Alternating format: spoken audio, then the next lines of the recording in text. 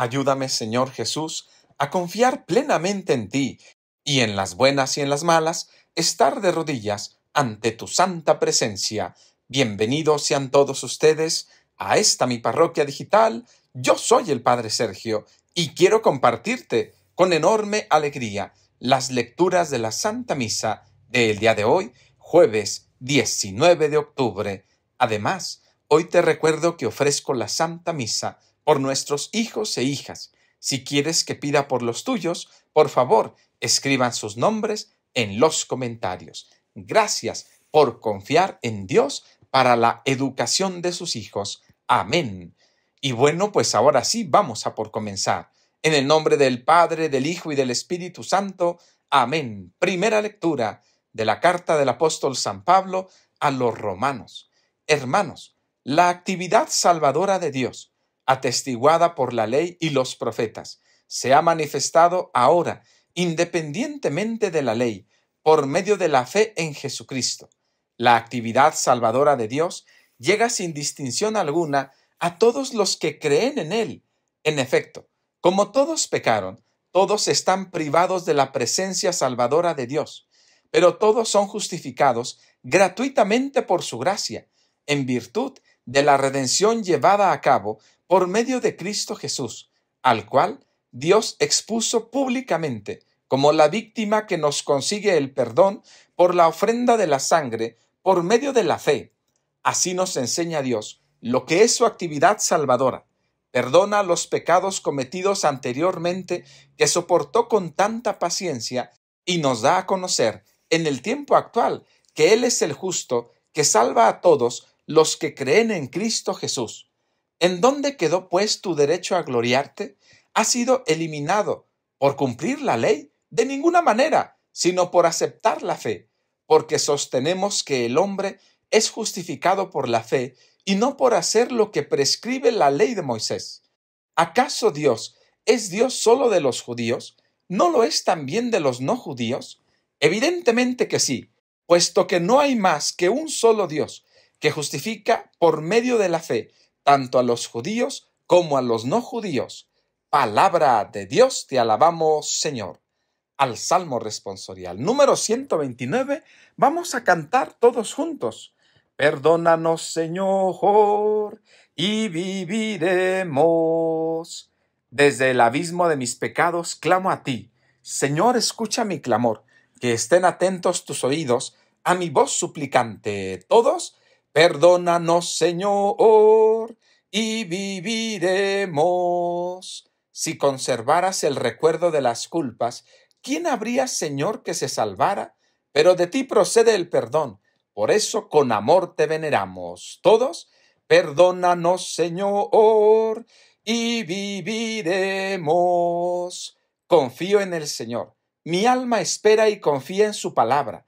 Mi alma aguarda al Señor, mucho más que a la aurora el centinela. Todos, perdónanos, Señor, y viviremos.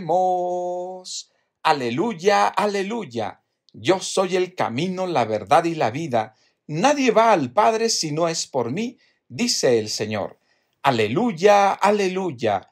Que el Señor Jesús esté con ustedes. Proclamación del Santo Evangelio según San Lucas.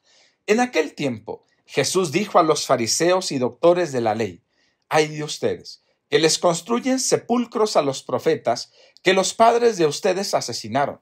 Con eso dan a entender que están de acuerdo con lo que sus padres hicieron, pues ellos los mataron y ustedes les construyen el sepulcro. Por eso dijo la sabiduría de Dios, yo les mandaré profetas y apóstoles, y los matarán y los perseguirán, para que así se le pida cuentas a esta generación de la sangre de todos los profetas que ha sido derramada desde la creación del mundo, desde la sangre de Abel hasta la de Zacarías, que fue asesinado entre el atrio y el altar. Sí, se lo repito, a esta generación se le pedirán cuentas. Ay de ustedes, doctores de la ley, porque han guardado la llave de la puerta del saber. Ustedes no han entrado y a los que iban a entrar les han cerrado el paso. Luego que Jesús salió de allí, los escribas y fariseos comenzaron a acusarlo terriblemente con muchas preguntas y a ponerle trampas para ver si podían acusarlo con alguna de sus propias palabras. Palabra del Señor.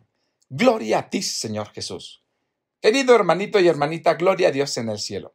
Hoy es un día muy bonito. Hoy es jueves eucarístico y les recuerdo a todos ustedes que Jesús los está esperando. ¿En dónde? ¿En dónde? A ver, no les voy a decir. Ustedes escriban en los comentarios en dónde nos está esperando Jesús. Pero eso sí, si vas a ese lugar, por favor, salúdalo de mi parte. Aleluya. Y bueno, pues ahora sí vamos a comenzar. En la primera lectura es una lectura maravillosa. Y fíjense nada más qué bonito. Nos dice San Pablo que nosotros somos salvados por la fe. Vamos a leer un poquito. ¿En dónde quedó pues tu derecho a gloriarte? Ha sido eliminado. ¿Por qué? ¿Por cumplir la ley? De ninguna manera, sino por aceptar la fe. Porque sostenemos que el hombre es justificado, o sea, salvado por la fe, y no por hacer lo que prescribe la ley de Moisés. Querido hermano y hermana, esto es maravilloso. Todos tenemos que entender que por aceptar la fe, que por aceptar que Jesús es el Hijo de Dios, que es nuestro Salvador, de esa manera obtenemos la salvación, que es un regalo de Dios y en ninguna manera es obra o resultado de lo que tú puedas o no hacer. Por eso comienza San Pablo diciendo, ¿de qué te vas a gloriar? No puedes gloriarte de ser una buena persona, no puedes gloriarte de salvarte, porque el que está detrás de todo esto es Dios. El que está detrás de ese milagro maravilloso de la salvación es Dios. Hermanos y hermanas, en el mundo habemos muchísimas personas de muchos tipos y hay algunas personas que piensan que se van a ganar el cielo por ellas mismas, por sus esfuerzos, por lo que pueden o no pueden hacer. Pero no hay cosa más equivocada, porque nosotros, querido hermano y hermana, nos vamos a ganar el cielo. ¿Por qué? Porque confiamos en Dios, porque aceptamos que Él es el que salva, porque aceptamos que si algo bonito puede pasar en nuestras vidas, es por obra y resultado de Dios. No es porque tú hayas hecho las cosas correctamente. Recuerda, el único perfecto es Dios nuestro Padre. De allí en fuera, tú y yo, querido hermano y hermana, pues lamentablemente no hacemos las cosas correctamente. Por eso debemos de aceptar que la salvación viene de Dios. ¿Quién dice? Amén conmigo. Y en el Salmo hemos cantado algo muy hermoso en preparación a la confesión. Perdónanos, Señor, y viviremos. Qué bonito. Perdónanos, Señor, y viviremos. No hay nada más cierto. Yo conozco a muchas personas que habían vivido en pecado, que estaban en una situación complicada, que no aceptaban a nuestro Señor y vivían muy tristes. Personas que durante años cometieron algunas situaciones y por no confesarse, pues tenían el cargo de conciencia, se sentían despreciados por Dios, se hacían personas inferiores, ¿Por qué? Porque habían pecado. Pero una vez que fueron perdonadas, una vez que acudieron al sacramento de la reconciliación, comenzaron a tener una vida nueva, sin culpas, sin lamentaciones, una vida en Cristo Jesús. Hoy quiero invitarte a ti, querido hermano y hermana, anímate a abrazar la confesión, anímate a abrazar tu fe, anímate a reconocer que cuando nos confesamos la vida es más bonita y más maravillosa y que todo cambia, que todo mejora. Por eso, querido hermano y hermana, te invito a que el día de hoy, con todo tu corazón, te animes a pedirle perdón al Señor a través del sacramento de la reconciliación. Vuelvo a recordarles, solamente a recordarles, a lo mejor a ti no, pero a alguien que a lo mejor no lo ha escuchado. El perdón de Dios se recibe solo y exclusivamente a través del sacramento de la confesión con un sacerdote católico. No caigan, por favor, en la trampa de pensar que pueden pedirle perdón directamente a Dios, que desde luego lo pueden hacer, pero la absolución la da el sacerdote. El perdón en nombre de Dios lo da el sacerdote. No caigas en el error, querido hermano y hermana, de decir que el perdón y la gracia son un asunto entre tú y Dios. Recuerda, por eso nuestro Señor dejó a la iglesia, dejó las llaves del reino de los cielos a San Pedro para que su iglesia, ¿verdad?, instituyera este sacramento de reconciliación y del perdón de los pecados. Así es que, querido hermano y hermana, en el nombre de Dios, vayámonos todos a confesar. Claro que sí. Dije vayámonos porque los sacerdotes también tenemos que confesarnos. Si los sacerdotes queremos vivir, estar contentos, amar a Jesús, también debemos de reconciliarnos, así como tú lo haces y como toda tu familia. Claro que sí. Así es que, querido hermano y hermana, ánimo, acudamos todos juntos al sacramento de la reconciliación. Amén. Y bueno, pues ahora sí, permíteme darte la bendición.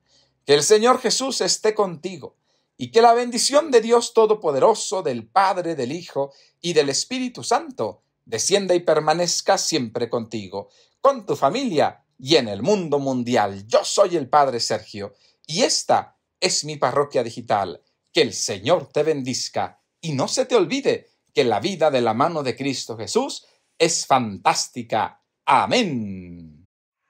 Muchísimas gracias por haberme acompañado en este video. No se les olvide, vengan a ver más videos aquí en su parroquia digital. Y para despedirnos todos tenemos dos mensajes que darles. El primero...